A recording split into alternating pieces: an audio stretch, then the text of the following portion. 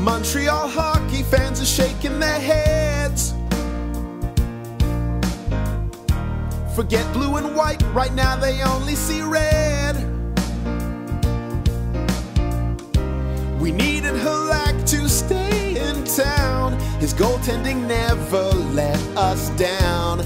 Pierre Gauthier is such a clown.